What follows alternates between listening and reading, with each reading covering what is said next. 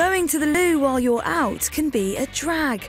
Well, not anymore, for men at least, after a bar in London installed urine controlled video games above their urinals.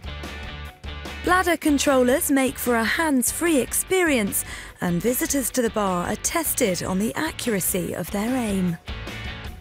Never has Nintendo Wii sounded more apt, and the bar's owner, Drew Weatherhead, says he's looking forward to the new installations. I'm really hopeful that it'll it'll um, bring people in, new people that haven't been here before, which is always an advantage, but also repeat trade. Let's just hope for his sake it doesn't mean people will be wanting to hang out in the urinals rather than his bar.